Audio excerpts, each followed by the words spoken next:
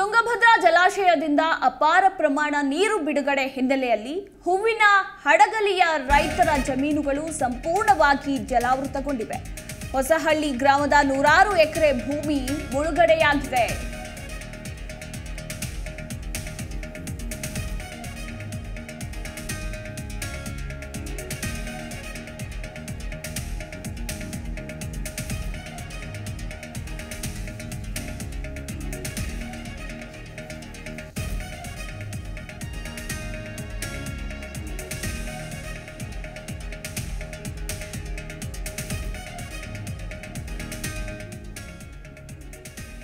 ತುಂಗಭದ್ರಾ ಜಲಾಶಯದಿಂದ ಅಪಾರ ಪ್ರಮಾಣ ನೀರು ಬಿಡುಗಡೆ ಹಿನ್ನೆಲೆಯಲ್ಲಿ ಹೂವಿನ ಹಡಗಲಿಯ ರೈತರ ಜಮೀನುಗಳು ಸಂಪೂರ್ಣವಾಗಿ ಜಲಾವೃತಗೊಂಡಿವೆ. ಹೊಸಹಳ್ಳಿ ಗ್ರಾಮದ ನೂರಾರು ಎಕರೆ ಭೂಮಿ ಮುಳುಗಡೆಯಾಗಿದೆ. ಭತ್ತ ನಾಟಿ ಮಾಡಿದ ಜಮೀನಿಗೆ ನುಗ್ಗಿರುವಂತಹ ನೀರು ತುಂಗಭದ್ರಾ ನದಿಯಿಂದ ಇನ್ನು ಮುನ್ನೂರಕ್ಕೂ ಹೆಚ್ಚು ಎಕರೆ ಪ್ರದೇಶಕ್ಕೆ ಆವರಿಸಿದೆ ತುಂಗಭದ್ರದ ನೀರು. ತುಂಗಭದ್ರಾ ಆರ್ಭಟದಿಂದ ನದಿ ತಟದ ಗ್ರಾಮಸ್ಥರಲ್ಲಿ ಆತಂಕ ಮನೆ ಮಾಡಿದೆ. ನಿಧಾನವಾಗಿ ಗ್ರಾಮಗಳಿಗೂ ಕೂಡ ನುಗ್ಗುತ್ತಾ ಇದೆ.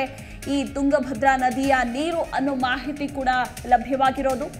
ಒಂದು ಪಾಯಿಂಟ್ ನಾಲ್ಕು ಸೊನ್ನೆ ಲಕ್ಷ ಕ್ಯೂಸೆಕ್ ನೀರು ನದಿಗೆ ಹರಿದ ಹಿನ್ನೆಲೆಯಲ್ಲಿ ಭತ್ತ ನಾಟಿ ಮಾಡಿದ ರೈತರಿಗೆ ಇದೀಗ ಆತಂಕ ಹೆಚ್ಚಿದೆ. ವಿಜಯನಗರ ಜಿಲ್ಲೆ ಹೂವಿನ ಹಡಗಲಗಿ ಹಡಗಲಿ ತಾಲೂಕಿನ ಹೊಸಹಳ್ಳಿ ಗ್ರಾಮದ ಭತ್ತದ ಜಮೀನುಗಳಿವು ನೋಡ್ತಾ ಇರಬಹುದು. ದೃಶ್ಯಾವಳಿಗಳಲ್ಲಿ ಸಂಪೂರ್ಣವಾಗಿ ರೈತರ ಬೆಳೆ ಜಲಾವೃತಗೊಂಡಿರೋದು. ತುಂಗಭದ್ರಾ ನದಿಯ ನೀರಿನ ಪ್ರಮಾಣ ಹೆಚ್ಚಾಗಿದೆ. ಹೀಗಾಗಿ ಅಲ್ಲಿನ ಸುತ್ತಮುತ್ತಲಿನ ಜಮೀನುಗಳಿಗೂ ಕೂಡ ನೀರು ಹರಿದು ಬಂದಿದೆ.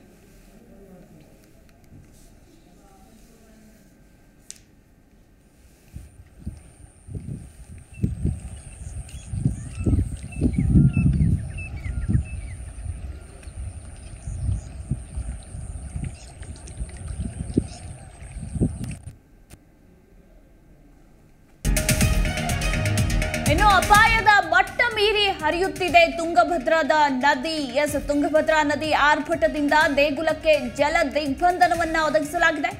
ಮೊದಲಗಟ್ಟಿ ಆಂಜನೇಯ ದೇವಸ್ಥಾನಕ್ಕೆ ನುಗ್ಗಿದ ಮಳೆಯ ನೀರು. ವಿಜಯನಗರ ಜಿಲ್ಲೆ ಹೂವಿನ ಹಡಗಲಗಿಯ ಆಂಜನೇಯ ದೇಗುಲ ನೀರಿನಲ್ಲೇ ಹೋಗಿ ದೇವರ ದರ್ಶನವನ್ನ ಪಡಿತಾ ಇದ್ದಾರೆ ಭಕ್ತರು.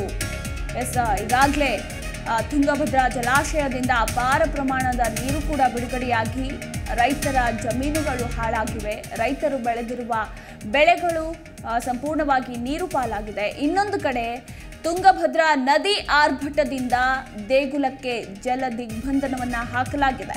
ಮೊದಲಗಟ್ಟಿ ಆಂಜನೇಯ ದೇವಸ್ಥಾನಕ್ಕೆ ಮಳೆಯ ನೀರು ನುಗ್ಗಿದೆ. ವಿಜಯನಗರ ಜಿಲ್ಲೆ ಹೂವಿನ ಹಡಗಲಿಯ ಆಂಜನೇಯ ದೇಗುಲ. ದೃಶ್ಯಾವಳಿಗಳಲ್ಲಿ ನೀವು ಕೂಡ ನೋಡ್ತಾ ಇರಬಹುದು. ಇನ್ನು ಈ ನೀರಿನಲ್ಲೇ ಭಕ್ತರು ದೇವಸ್ಥಾನಕ್ಕೆ ಹೋಗಿ ದೇವರ ದರ್ಶನವನ್ನ ಪಡೆದುಕೊಂಡು ಬರ್ತಿದ್ದಾರೆ.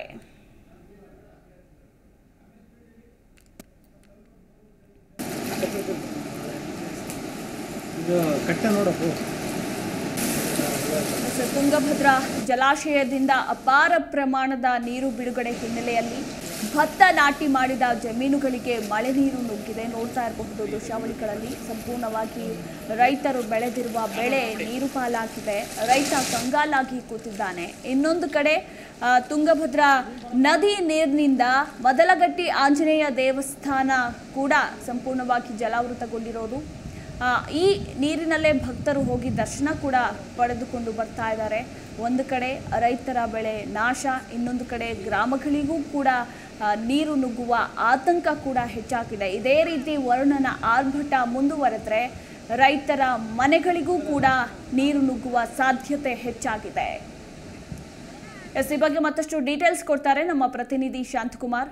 ಶಾಂತಕುಮಾರ್, ತುಂಗಭದ್ರಾ ನದಿಯ ನೀರಿನ ಪ್ರಮಾಣ ಹೆಚ್ಚಾಗಿರೋದ್ರಿಂದ ಒಂದು ಕಡೆ ರೈತರು ಬೆಳೆದಿರುವ ಬೆಳೆಗಳು ಸಂಪೂರ್ಣವಾಗಿ ನಾಶವಾಗಿದೆ. ದೇವಸ್ಥಾನಕ್ಕೂ ಕೂಡ ನೀರು ನುಗ್ಗಿದೆ. ಈ ಬಗ್ಗೆ ಮತ್ತಷ್ಟು ಡೀಟೇಲ್ಸ್ ಮಧು ಈಗಾಗಲೇ ಇನ್ನು ತುಂಗಭದ್ರಾ ಜಲಾನಯನ ಪ್ರದೇಶದಲ್ಲಿ ಬಹಳಷ್ಟು ಮಳೆ ಆಗ್ತಾ ಇದೆ. ಇನ್ನೂ ಕೂಡ ಮಳೆ ಕಡಿಮೆ ಆಗಿಲ್ಲ. ಹೀಗಾಗಿ ತುಂಗ ಮತ್ತು ಭದ್ರಾ ಎರಡೂ ನದಿಗಳಿಂದ ಈ ಒಂದು ನೀರು ಹೆಚ್ಚಿನ ಪ್ರಮಾಣಕ್ಕೆ ಬರ್ತಾ ಇದೆ. ಮತ್ತು ಎರಡೂ ನದಿಗಳ ಒಂದು, ಅಣೆಕಟ್ಟುಗಳಿಂದ ನೀರು ಬಿಟ್ಟಿರೋದಕ್ಕೆ ಅದರ ನೇರವಾದ ತೊಂದರೆ ಈಗ ವಿಜಯನಗರ ಜಿಲ್ಲೆಯ ಹೂವಿನಡಗಲಿ ತಾಲೂಕಿಗೆ ತತ್ತಿದೆ ಅಂತಲೇ ಹೇಳ್ಬೋದು. ಈಗಾಗಲೇ ಅಲ್ಲಿರ್ತಕ್ಕಂಥ ಹಲವಾರು ಗ್ರಾಮಗಳಲ್ಲಿ ರೈತರು ಬೆಳೆದಂತ ಬೆಳೆಗಳು ಈಗ ನೀರಿನಿಂದ ಜಲಾವೃತವಾಗಿರ್ತಕ್ಕಂಥದ್ದು. ಹೀಗಾಗಿ ಆ ಬೆಳೆಗಳು ಕೂಡ ಹಾಳಾಗಿರುವಂತದ್ದು ಇದಲ್ಲದೆ ಈ ಮೊದಲಗಟ್ಟೆ ಆಂಜನೇಯನ ಸ್ವಾಮಿ ದೇವಸ್ಥಾನ ಏನಿದೆ ಹೂವಿನ ಅಡಗಲಿ ತಾಲೂಕು ವಿಜಯನಗರ ಜಿಲ್ಲೆಯಲ್ಲಿ, ಅಲ್ಲಿ ಆ ಒಂದು ಪ್ರದೇಶ ಕೂಡ ಸಂಪೂರ್ಣವಾಗಿ ನೀರಿನಿಂದ ಆವೃತ ಆಗಿರೋದು. ಜನರು ಕೂಡ ಅಲ್ಲಿಗೆ ಹೋಗ್ಬೇಕು ಅಂದ್ರೆ ಆ ಒಂದು ನೀರಿನ ಒಳಗಡೆನೆ ಹೋಗಿ ದರ್ಶನ ಮಾಡ್ಕೊಂಡು ಬರುವಂತ ಒಂದು ಪರಿಸ್ಥಿತಿ ಉಂಟಾಗಿರ್ತಕ್ಕಂಥದ್ದು.